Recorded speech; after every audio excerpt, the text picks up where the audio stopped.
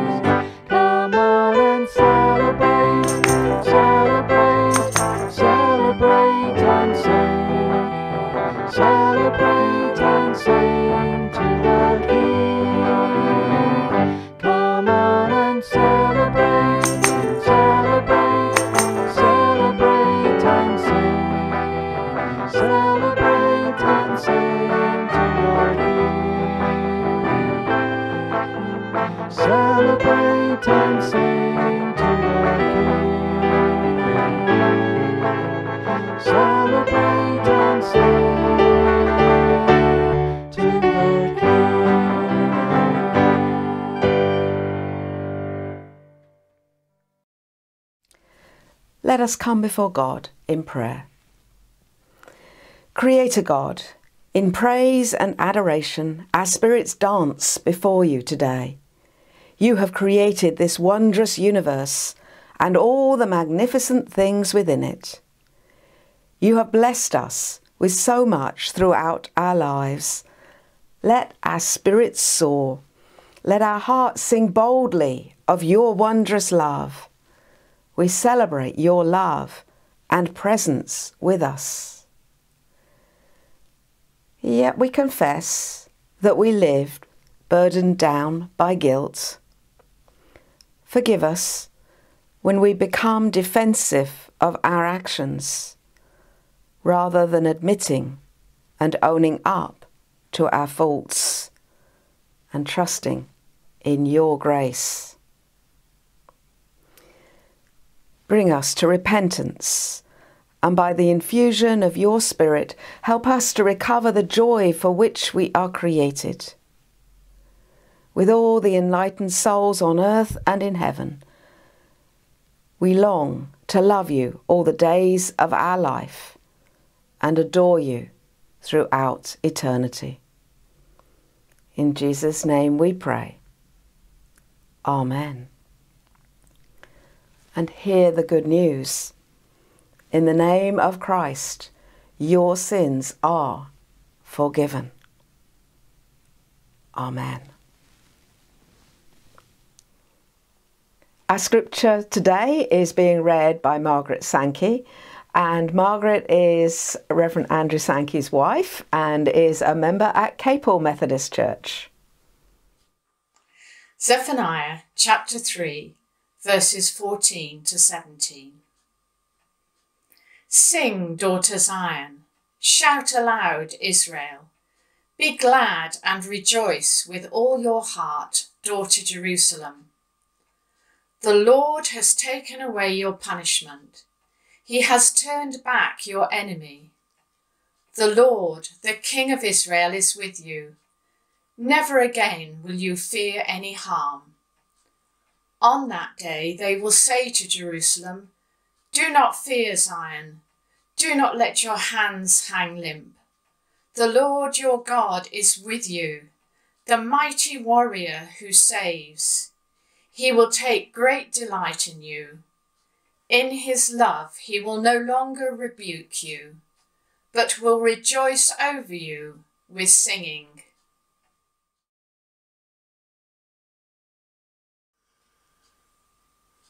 What images of God do you have? A father with the children? A potter moulding his clay? A judge on his throne? He is a God who loves singing is he also a singer himself? There's a lot in scripture about people singing praises to God. Pilgrims on their way to Jerusalem at festival time sang. The Psalms were written as songs. Some of the pictures of heaven are multitudes around the throne singing. But I never thought of God as singing until I read this verse from Zephaniah. The Lord your God is with you the mighty warrior who saves. He will take great delight in you. In his love, he will no longer rebuke you, but will rejoice over you with singing. God singing over us, his children. Singing is an important part of our worship, and we've missed some of that over the months of the pandemic. Even now, through masks, it's still a bit muted. The harmonies that the choir used to bring, singing out, have been greatly reduced, and the volume, the gusto, the joy feels weaker. Do you feel like singing? Whether we feel like singing or not depends a great deal on our circumstances. When life is good and all is going well, it can be easy to feel as if there's a song in our heart and a spring in our step. But when life is hard, when things are going badly, when it's when, when all is far from well, the idea of singing and making music may be far from our desires. Singing taps into something deep and powerful in our understanding of who we are and how life is going. I particularly like this quote. Music expresses that which cannot be said and on which it is impossible to be silent. Whether we feel like singing depends a great deal on how we feel about ourselves. If that is true, how much more must it be true about whether someone else wants to sing to us or about us? I don't know whether you've ever had a sung song to you or only you, or whether you've had a song written specifically for you or about you. It's very powerful to hear musicians singing songs about the depth of their love for another person and be willing to do that in public and have it recorded and played everywhere for anyone to hear. The Beatles famously wrote and performed Michelle, my belle, and then some beautiful French words telling of his love for Michelle. It must have been amazing to be the Michelle for whom that was written, and even for other people with the name Michelle who weren't even known by the Beatles. And yet here in our Bible verse, Zephaniah chapter 3 verse 17, it tells of a song that has been written about each one of us. It's the most tender of love songs. And the most amazing part is that the singer is God himself. The Lord your God is with you, the mighty warrior who saves you. He would take great delight in you. In his love, he will no longer rebuke you, but will rejoice over you with singing. That's a verse worth pondering on, and we'll look at the five phrases of this verse. But first, we must remind ourselves of the context. Many of the prophets were full of doom and gloom, and the three chapters of Zephaniah are no different. They're all talking about the judgment of God on the people of Judah. The people had turned their back on the Lord, and judgment is coming. It's only just in the last few verses of chapter 3 where Zephaniah offers some hope and offers the good news of the gospel. So the first phrase, the Lord your God is with you. We've recently celebrated Christmas where Jesus is called Emmanuel, meaning God with us. Jesus, born in Bethlehem as a saviour of the world, is God becoming flesh and dwelling amongst us. King Solomon, when he was dedicating the temple he had built for the Lord, asked the question, Will God really dwell on earth with humans? Solomon asked if the, his prayer and the prayers of the people offered in this temple would be heard by God, and that God would see people turning back to himself. They believed God was there in the Holy of Holies, in the innermost sanctuary. But the answer to Solomon's question was fulfilled more accurately in the coming of Jesus. It is a definite yes Jesus comes and dwells among us. And as John says, we have seen his glory, the glory of the one and only Son, full of grace and truth. That presence of God in Jesus was very tangible during those three years of ministry, but only in Palestine. And then shortly before his death, Jesus says, it's good that I'm going away from you, because then the Holy Spirit will come and he's not confined to one place and one time, as I am having taken on human form, but it is truly God with us. The second phrase, the mighty warrior who saves, or a different translation, he is mighty to save. Here, Zephaniah becomes prophetic. The mighty Saviour is clearly pointing to Jesus, the one who will save, them, save us from judgment and the punishment we deserve. The father of John the Baptist, Zechariah, echoes something very similar in his own prophecy. He has raised up for us a horn of salvation. And Zechariah said of his son John that he would give his people the knowledge of salvation. The mighty warrior who saves. And dear old Simeon, holding baby Jesus uh, in his arms in the temple, says, For my eyes have seen your salvation. He was still just a baby, but the one who would become the mighty warrior, bringing salvation to the world. And as the mighty warrior, defeating Satan. The third phrase of our verse is, He will take great delight in you or a different translation, he will rejoice over you with joy. Just think on that for a moment. He, that is the Lord your God, takes great delight in you. Who does he take great delight in? Not simply the rich and the powerful and the influential. It's not only the kings and queens, the presidents and prime ministers that God delights in. He takes great delight in you. And don't pass it off to the person next to you. He knows you by name. He loves you. He knows every facet of your life. And he takes great delight in you. God doesn't wait for us to be perfect before he loves us. Paul said to the Romans, God loves us while we were still sinners. The fourth phrase, fourth phrase in, in his love, he will no longer rebuke you. Or in the Amplified Version, it extends it, he will rest in silent satisfaction, and in his love, he will be silent and make no mention of past sins or even recall them.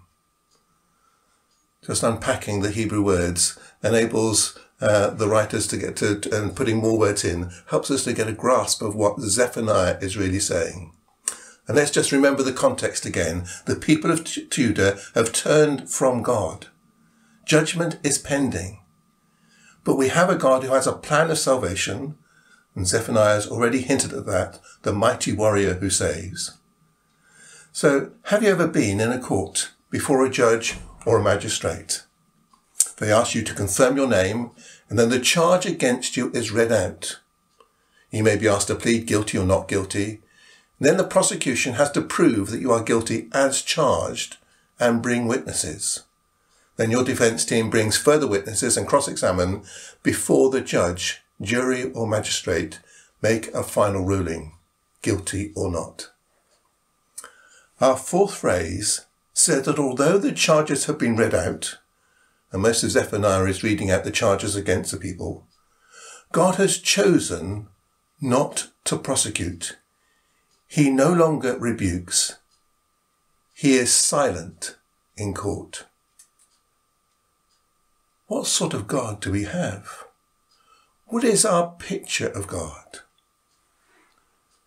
For many, he's a God who loves us half-heartedly, but punishes us earnestly. Zephaniah is indicating we've got a God who punishes reluctantly, but loves tenaciously. He goes on loving. We have a God who loves us so much that he is very reluctant to punish. So how do we respond to God who is silent in his accusations against us because he himself has taken the punishment due to us through his son? If we read the first bit of Zephaniah, we would have seen what he is suggesting we should do.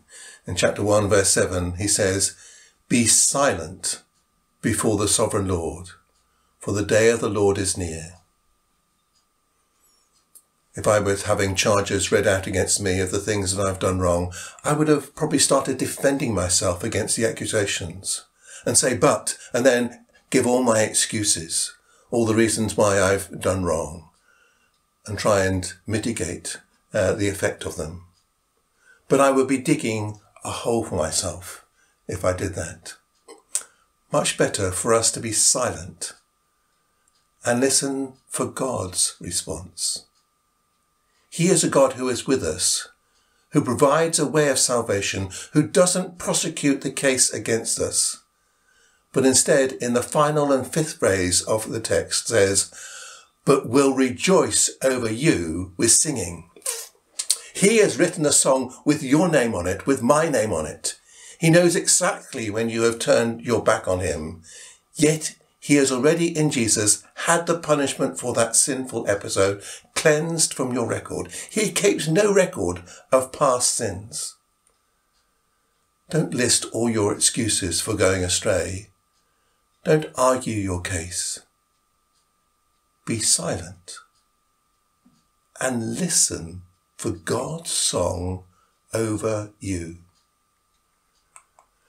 Here is the Lord, maker of all things, ruler of all things.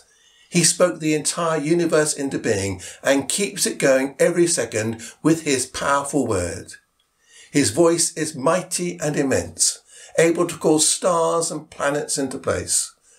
And when he says, let there be light, light appears from nowhere. And he uses his voice to sing and to sing about you and me. God's song may be very quiet to start with, waiting for us to be silent and to stop making our excuses, but to be quiet enough to hear him. The word that Zephaniah uses of that uh, song is a shout that rings out for miles, a battle cry broadcast wide, the whole world to hear. My friends, that is the flavour of the passion God has here for us in this verse. God delights in us, rejoices over us in song. It's not a lullaby, but a celebration. God goes crazy over us and is singing and shouting over the unique person he has created, the person he has loved, the person he delights in. Try to remember that today and never forget it. It's so easy to pick up a false image of God from popular culture, one that depicts him as some grumpy, grudging killjoy who, for who nothing is good enough. This not very interested, strict school teacher image of a scowling face could not be farther from the truth. In a wonderful insight, Zephaniah put pay to any idea that God is half-hearted about me or his people. He doesn't just put up with me grudgingly, grumbling about me as a never quite good enough. No, God does not hold back anything about his delight in me. He sings loudly. He shouts at the top of his voice. He dances a jig. He whoops with pleasure over each of his uniquely created people. It is almost unseemly and might be quite out of place in some of our churches. We are reminded that Jesus, God became man, wasn't a party pooper either. On the contrary, he was in demand, incredibly popular, and he got invited to all those parties. You know, the one that sinners go to, much to the annoyance of the religious and secular authorities. People wanted to be with him, to listen to his stories, to know and feel his touch on their lives.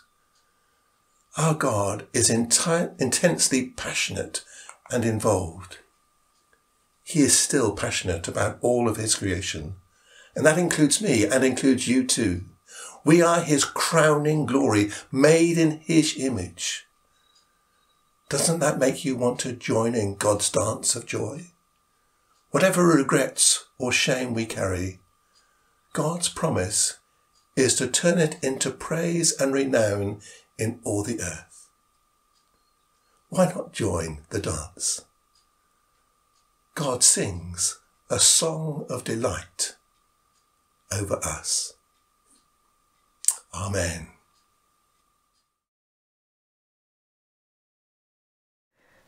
Thank you, Andrew, for your message about God singing over us.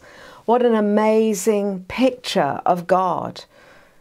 You know, I did have one occasion when a church wrote a song for me, welcoming me as their new minister. But what a thought that God writes songs about God's love for us. So let's continue, as Andrew said, and join in the dance of joy as we sing Teach Me to Dance, number 477.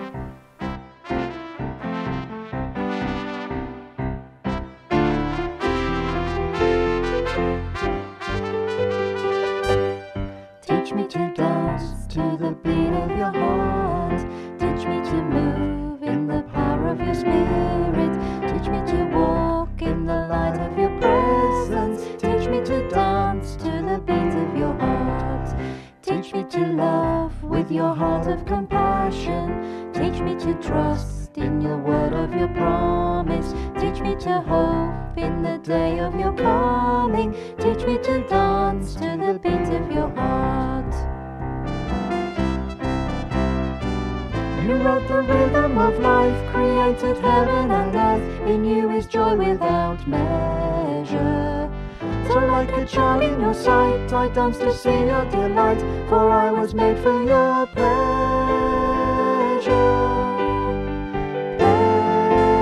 Pleasure. Teach me to dance to the beat of your heart. Teach me to move in the power of your spirit.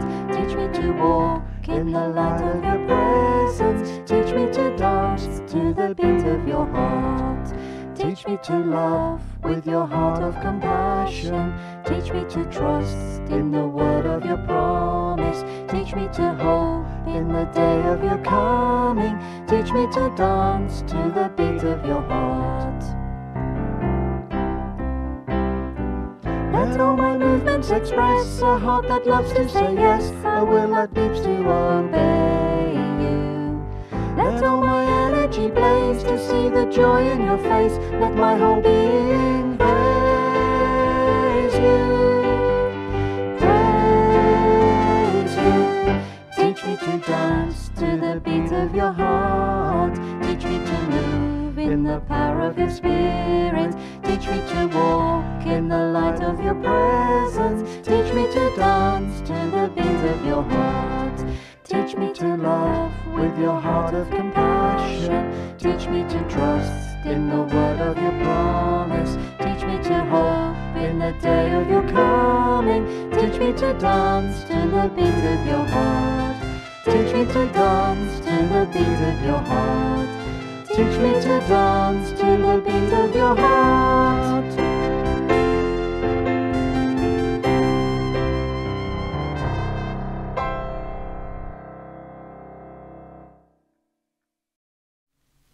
Let us pray and bring our concerns now for the world and our community before God.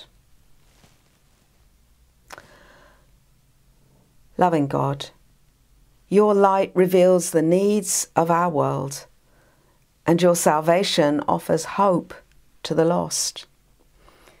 Therefore, we pray for our world and our community. We pray for the mission of your church, that we may proclaim the good news of the age as we put our trust in you. We pray for the world that your saving love may reach to the ends of the earth as we serve the common good.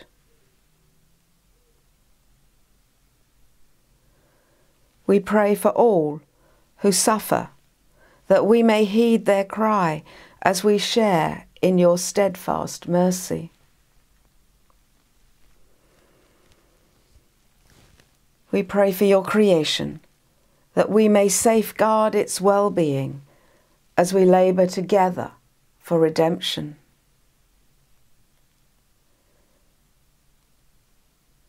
We pray for those who are sick, grieving, or lonely, that they may know the power of your healing grace.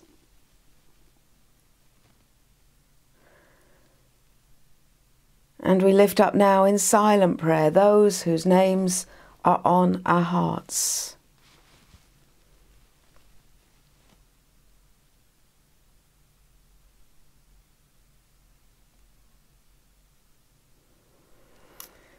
And we lift up, especially this week, the people of Tonga. We pray that help will soon be reaching them, that communications will be re established as they recover from the eruption of the volcano last week. And we pray for other islands close by, also covered in water. And we rejoice in this week of prayer for Christian unity and ask that we might be united with people of faith all around the world. God of light, hear our prayer. Hear, O Lord, the cries of your people. Be gracious to us and answer us, for you are our salvation. We pray in the name of the Christ who makes all things new, as we say together the prayer that he taught us. Our Father, who art in heaven, hallowed be thy name. Thy kingdom come, thy will be done on earth as it is in heaven. Give us this day our daily bread, and forgive us our trespasses, as we forgive those who trespass against us. And lead us not into temptation, but deliver us from evil. For thine is the kingdom, the power, and the glory, for ever and ever. Amen. I'd like to thank everyone who participated in our worship today. Margaret Sankey for reading our scripture, Reverend Andrew Sankey for his message for us, to Neil and Elizabeth Hepplethwaite and Adrian Pell for our music, and also Adrian for the Visio editing. We're in the middle right now of the week of prayer for Christian unity from the 18th to the 25th of January. And if you have not got the materials for that week, you can find them on our circuit website, methodistic.org.uk. It would be lovely to know that you've been worshipping with us today. So if you're on the Methodistic website, then just above this video is a form for you to sign in. You just type your name and your location and push the red button, and we'll know that you've been here. Next week, Dr. Liz Cope is our preacher with a sermon called What is God Saying to You? And now with thankful hearts, I encourage you at this time to offer your time, your talent, and your treasure to God and support the work of your local church. Let us pray. God of love and joy, you have given us so much, and we are thankful. Therefore, we praise you with songs, shouts, and these offerings and gifts. Multiply them for your service that they might become your presence in the world. Amen. At the beginning of his sermon, Andrew mentioned about how we're all missing singing. This week, I came across a poem that I thought I would share with you now. It's called I Go to Sing, and it was written by United Methodist Lindy Thompson and she's a poet and lyricist whose work seeks to shine fresh light on the sacred truth that all people are beloved children of God. So here's her poem I Go to Sing. I might be exhausted and the children might be cranky, but I will be going to church on Sunday. Don't know who's preaching, doesn't matter. The sermon may be helpful or not, holds my attention or doesn't. It's the singing. I go to sing. I get up, get clean, get dressed, possibly get mad at the not ready kids, at the empty coffee pot, at the traffic. Get going, get there, get seated, get comfortable, get focused, and when the music starts, get saved. It's the singing. I go to sing.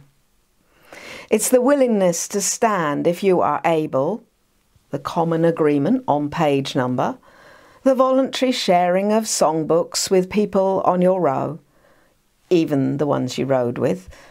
But most of all, it's the collective in breath before the first sound is made the collective drawing on the grace of God, the collective, if inadvertent, admission that we are all human, all fragile, all in need of the sustaining air freely dispensed, all in need of each other to get the key right and not sound discordant.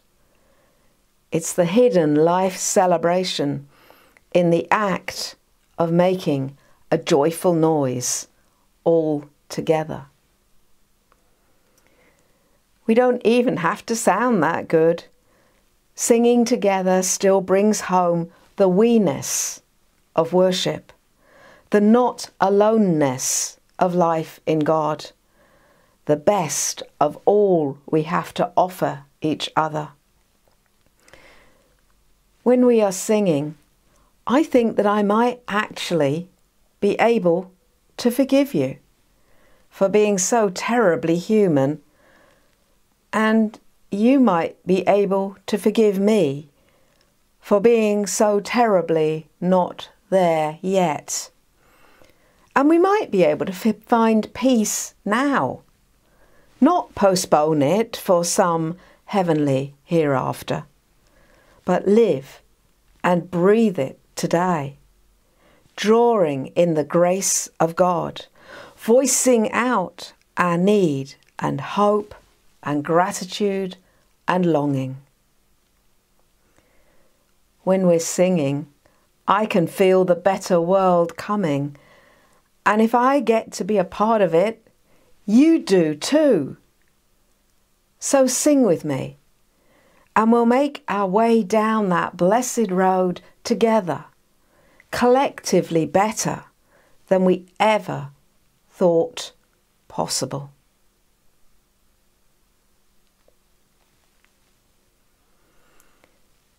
So let's finish by singing number 65 Sing of the Lord's goodness. Mercy he has shown us, his love is forever. Praise him with your music. And as we do so, imagine God also singing over us and the rest of us singing with you. Sing of the Lord's goodness, Father of all wisdom, come to him and bless his name. Mercy he has shown us, his love is forever, faithful to the end of days. Come then, all you nations, sing of the Lord's goodness, melodies of praise and thanks to God. Ring out the Lord's glory, praise him with your music, worship him and bless his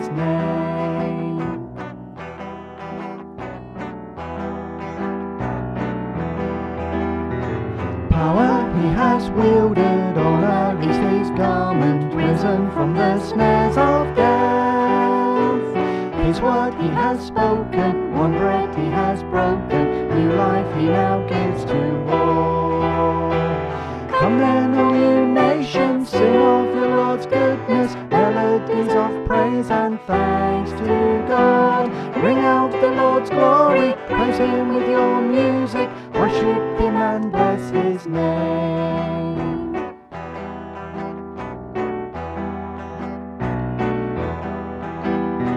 Courage in our darkness, comfort in our sorrow, Spirit of our God Most High. Solace for the weary, pardon for the sinner, splendor of the living God. Nations, sing of your Lord's goodness, melodies of praise and thanks to God. Ring out the Lord's glory, praise Him with your music, worship Him and bless His name.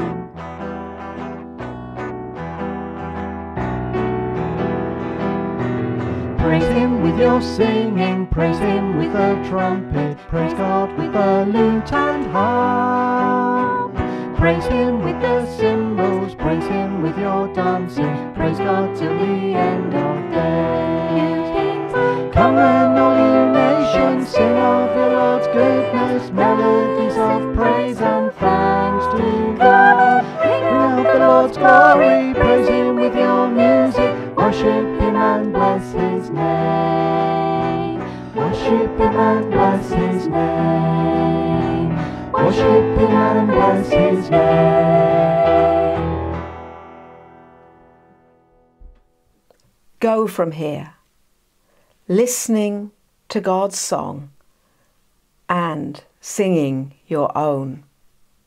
And may God, the Creator, Redeemer, and Sustainer, be with you all, now and evermore.